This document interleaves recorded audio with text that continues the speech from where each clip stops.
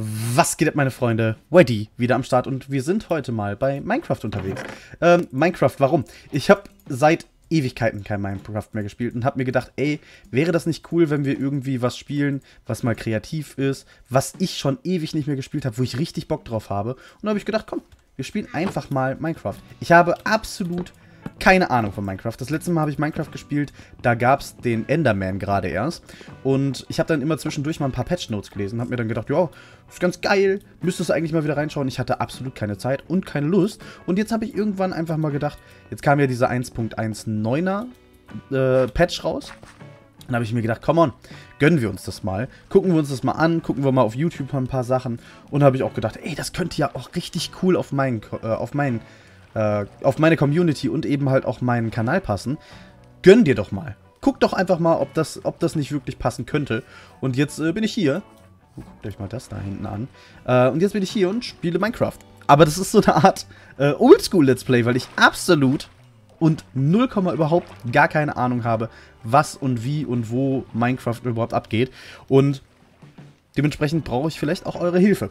Und aus dem Grund habe ich tatsächlich auch in dem Video, was ich als erstes gesehen habe zum 1.19er Patch, ähm, einen Seed rausgesucht. Ich werde euch diesen Seed unten in der Videobeschreibung verlinken. Und wenn ihr Bock habt, könnt ihr euch einfach auch diese Map hier runterladen, beziehungsweise als Seed starten und könnt einfach mal euch umschauen, könnt mir vielleicht ein paar Tipps geben, wo ich hingehen könnte oder sonstiges. Ich werde aber alles immer ohne die ähm, Koordinaten machen. Also ich werde hier nicht in dieses Menü gucken, sondern ich werde immer alles ohne Koordinaten machen. Das heißt, wenn ihr mir irgendwas erklären wollt, dann müsst ihr das mir wirklich erklären. Und ihr müsst mir dann versuchen, verbal zu beschreiben, wo ich hin muss. Weil ich werde nicht auf die, auf die verschiedenen Koordinaten gucken. Ich werde es versuchen, so zu hinzukriegen, weil ich das irgendwie cooler finde. Einfach so survival-mäßig so das zu machen. So, jetzt haben wir hier schon mal ein paar Schafe. Ich weiß auf jeden Fall, dass ich zum, zum Schlafen ein Bett brauche, damit ich eben halt auch meinen Spawnpunkt irgendwo hinsetzen kann. Ich habe jetzt mal nicht auf Hardcore gestellt, direkt als erstes, äh, weil ich mich nicht komplett überfordern wollte. Und weil ich natürlich auch überhaupt nicht weiß, ob ihr richtig Bock habt auf das, auf das ganze System hier. Und äh, da müsst ihr mir dann einfach mal in die Kommentare schreiben, wie es aussieht. Ob ihr Bock habt, ob ihr keinen Bock habt, wie, ähm, wie wir das alles machen wollen. Da hinten war doch dieses Tor. Hm, eigentlich würde ich da gerne hin. Eigentlich würde ich da ganz gerne hin. Aber wir müssen auch irgendwie erstmal die Nacht überleben. Das heißt, erst, erste Priorität, definitiv Schafe. Wir brauchen Schafe. Wir brauchen nichts, was zu, nichts zu essen. Zu essen haben wir hier das Brot. Die haben wir ja so oder so schon gekriegt gehabt. So, gönnen wir uns das zusammen. Das könnten wir zur Not essen. Ansonsten Holz ist natürlich auch nicht schlecht. Dann hatten wir schon mal eine Werkbank. Ah, eine Biene! Geil. Es gibt Bienen? Finde ich richtig nice. Gibt es dann auch irgendwo so, so Honigwaben oder sowas? Das wäre richtig geil. Wenn es Honigwaben gäbe. Also ich weiß, dass es Panda-Bären gibt. Das ist eigentlich so das erste Ziel oder das, das langfristige Ziel, dass ich Panda-Bären sehe. Das ist das langfristige Ziel. How to get a Panda-Bär. äh, ansonsten müssen wir halt schauen. Mal gucken. Also ich habe mir jetzt erstmal nicht das Ziel gesetzt, hier den Enderdrachen zu besiegen. Ich weiß, dass es den Enderdrachen gibt. Vielleicht mache ich das auch irgendwann, aber erstmal ist das jetzt nicht das priorisierte Ziel. Wenn ihr natürlich wollt, dass ich das mache, dann mache ich das. So, jetzt brauchen wir erstmal noch ein paar mehr Schafe. Was ist das denn? What the fuck? Okay. Äh, das sieht nach einem riesigen Haus aus. Äh, ich weiß, dass es Dörfer gibt, aber was zum Teufel ist das? What the fuck? Okay. Äh, Wolle. Wolle, Haus. Was ist die Kuh? Holy, habe ich Schiss gehabt. Oh, Junge. Alter Schwede. Wenn man das Spiel hier ewig nicht mehr gespielt hat, dann kriegt man richtig Panik vor allem und jedem. So, hier haben wir Schafe. Verprügeln wir mal die Schafe nochmal. Damit wir nochmal Wolle kriegen. Und dann nehme ich mir einfach ein Bett mit. Baue ich mir das gleich einfach direkt zusammen. Sobald ich die Möglichkeit habe. Dann habe ich erstmal die Möglichkeit zumindest gezielt irgendwo wieder zu spawnen. So, bauen wir das hier hin. Dann war das so und dann waren da dreimal Wolle und dann haben wir ein Bett. Nice. Nice! Und dann geht's weiter. Ich meine, im Dorf sind ja immer Typen, die auf jeden Fall nett zu einem sind. Das ist natürlich die Frage, wenn du da so eine riesige Villa hast, dann willst du ja eigentlich alleine leben. Ob das jetzt so geil ist, wenn du da einfach auftauchst. ähm, wir gucken einfach mal. Wir nähern uns erstmal ganz langsam und gucken dann, ob wir da irgendwie was machen können. Ich würde das gerne auch so ein bisschen Roleplay-mäßig aufbauen. Das heißt, ich werde versuchen, immer zwischenzeitlich mal ein paar Quests noch mit reinzubringen.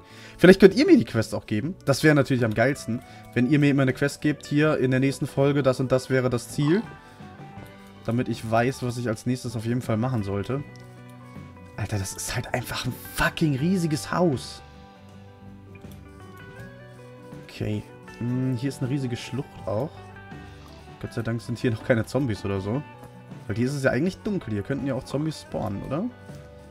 Würde ich zumindest behaupten. Ich renne übrigens extra nicht. Ich weiß, dass das die meisten von euch triggert, aber ich will jetzt nicht äh, direkt schon wieder Hunger kriegen. Ich muss mir ja meine vier Brote ein bisschen aufsparen, damit ich nicht direkt sterbe. Wir wollen ja zumindest irgendwie in die Nähe von diesem Haus jetzt erstmal kommen. Das wäre jetzt mein erstes Ziel, nachdem ich jetzt das Bett erstmal geschafft habe, dass wir jetzt zu dem Haus gehen und herausfinden, ob da jemand wohnt, der böse ist. Vielleicht kann ich mir ja da einen Raum mieten. Das wäre ja richtig geil. Da sind ja einige. Zumindest sieht es von außen so aus. Dann könnten wir vielleicht das ein oder andere von denen abgrapschen. Vielleicht haben die ja irgendwas, was ich, was ich gebrauchen kann. Wenn sie böse sind, was machen wir dann? Ja. Naja, wenn die mich angreifen, dann greife ich natürlich zurück an. Das geht ja dann nicht anders, ne? Aber ich will es jetzt erstmal nicht hoffen, weil ich bin unbewaffnet. Ich habe eine Axt, glaube ich, ne? Ja, ich habe eine Axt und eine Spitzhacke. So, die nehmen wir auch noch mit. Es wird nämlich langsam dunkel. Gucke ich gleich, dass ich mich da irgendwo einbuddel. Hier ist auf jeden Fall eine riesige Schlucht. Das heißt, die kann ich ja zumindest auch nehmen um dann dementsprechend natürlich dafür zu sorgen, um da richtig ordentlich was zu farmen. Ich brauche auf jeden Fall Kohle. Kohle, Kohle, Kohle, Kohle, Kohle, Kohle. Mhm. Kohle, Kohle. Kann ich da hochklettern? Das war komisch. Bin jetzt gerade nicht gesprungen und kam dann da hoch. Okay, es wird wirklich dunkel. Buddeln wir uns hier vielleicht jetzt gleich ein Loch. Und dann gucken wir mal. Geil, Lamas. Der spuckt nicht rum. Da hat doch einer gerade schon hochgezogen. Junge. Ich will hier keinen Jiddy jetzt haben. Ich will keinen Damage kriegen. Hier runter. Es wird schon echt dunkel. Ich will nicht, dass dir gleich die Zombies spawnen. Autsch. Sagte er, er will keinen Damage kriegen und kriegt Damage. Innerhalb der nächsten 30 Sekunden. Geil. Wenn wir schlafen, wird ja auch wieder hell, ne? Ist ja auch gut. Das heißt, wenn ich jetzt gleich schlafe... Gucken mal, dass wir so nah wie möglich hier erstmal an das Haus rankommen. Vielleicht können wir uns dann einfach mal da reingraben. Ja, hier ist schon mal gar nicht so schlecht, glaube ich. Buddeln wir uns hier jetzt rein. Okay, da sind Zombies drin, so wie es aussieht platzieren wir jetzt erstmal hier. Junge. Prinzipiell, wer mit Zombies arbeitet, ist nicht unbedingt mein Freund. Wir bauen das erstmal zu. So, und dann buddeln wir schön mit dem Brot hier uns ein Loch rein. Ich könnte hier gar nicht schlafen, wenn ich hier die ganze Zeit das Zombie-Gestöhne hätte. Okay, Steinzeit haben wir schon mal geschafft. Da ist noch ein bisschen Kohle können wir auf jeden Fall trotzdem mit der Holzhacke auch abbauen. Ne? Das äh, stimmt. So, jetzt buddeln wir uns hier einfach ein kleines Löchlein, wo wir schon mal unseren Wohnplatz hinsetzen. Zumindest erstmal. Ne, damit will ich nicht buddeln. So. Und dann würde ich sagen, wir gucken, dass wir hier die Kohle erstmal abfahren. Dann haben wir ein bisschen mehr Möglichkeiten, Fackeln zu bauen. Weil wenn da drin ja Zombies spawnen, dann heißt das ja auch, dass es da wahrscheinlich sehr dunkel ist. Dann gehen wir auf jeden Fall hin. Außer die haben natürlich Zombies und halten die Zombies oder sowas. Das wäre auch krass. Stellt euch das mal vor. Also ihr merkt, ich habe absolut keine Ahnung, was abgeht. Deswegen... Oh, oh, oh, oh, oh. Mhm. Ja, hier haben wir Licht. Das machen wir mal weg. So. Bauen wir hier das noch ab. War es das dann an Kohle? Ja. Sieht so aus. Dann bauen wir uns den Boden hier noch wieder zu. Damit wir eine gerade Fläche haben. Machen wir die Fackel hier hin. So. Den bauen wir noch weg. Den bauen wir noch weg. Den bauen wir noch weg. Setzen wir uns das hier erstmal dahin.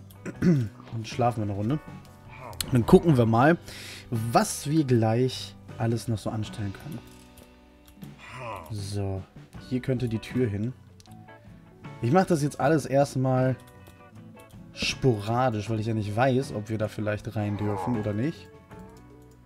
So, haben wir drei Türen. Ja, so viele brauche ich eigentlich nicht, aber wir lassen das mal so. Und bauen die Tür hier mal hin. Ich esse jetzt noch nichts. Ich denke mal, das Brot wird ja wahrscheinlich mehr bringen als nur einen einzigen Balken. Hier Kohle. Aber ah, wir haben ja noch die, die Truhe. Die können wir auch noch hinsetzen. Dann können wir da erstmal... War das dann nochmal? Ja. Zack, zack, zack, zack, zack, zack, zack, zack, zack. Da tun wir da noch rein. Die holen wir raus. Die, nein, die wollte ich nicht. Die holen wir raus. Die holen wir raus. Die holen wir raus. Und das holen wir raus. Damit können wir schon mal einen Backofen noch machen. Außer das reicht noch nicht. Doch, das reicht. Machen wir einen Ofen und dann stellen wir den hier oben drüber. Tun wir so die Hälfte von der Kohle rein. Und das Fleisch. Dann haben wir gleich nochmal was anderes zu essen, außer nur das. Und dann brauchen wir noch die Sticks. Können wir auch hier rein tun. Und dann bauen wir daraus noch ein paar Fackeln. So.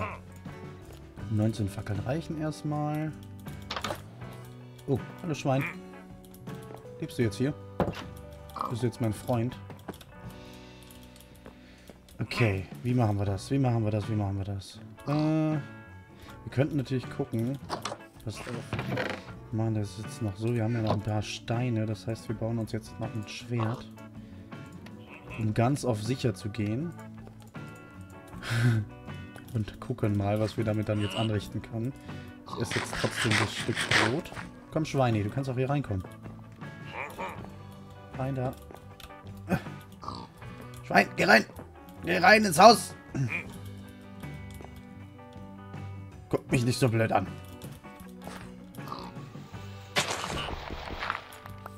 Du bist jetzt mein Hausschwein. Rein da.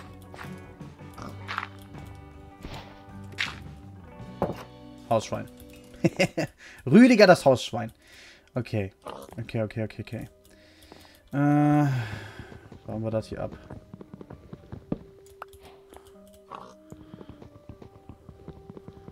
Gucken wir mal, was hier geht. Oh, oh, au.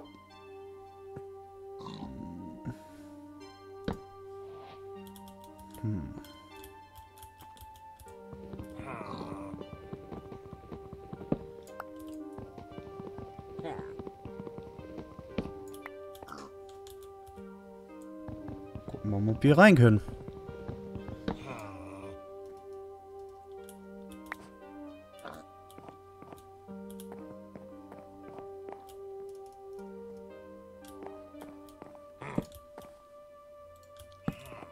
Bibliothek, okay.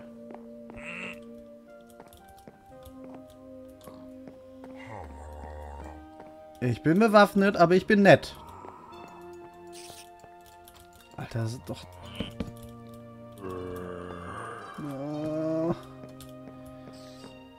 Junge. Lass mal. Alter. Das ist creepy.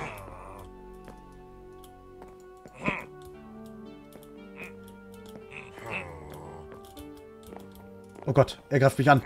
Oh Gott.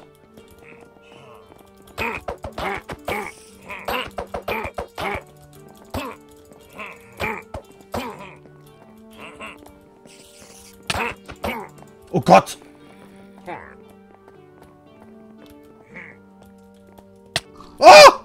Gott, ich bin tot! Junge! Holy fuck! Wie viel Damage der mir gemacht hat, was geht denn ab? Okay, ähm, wir lassen es hier gut sein für die Folge. äh, ich hoffe, euch hat das Video gefallen. Lasst gerne ein Like und ein Abo da. Und wie gesagt, schreibt mir in die Kommentare, was ich als nächstes auf jeden Fall machen soll. Und äh, ob Rüdiger das Hausschwein weiterhin hier leben soll. Oder ob ich den schlachten soll. Gut. Äh, wir sehen uns in der nächsten Folge. Bis dann und äh, ja. Ciao.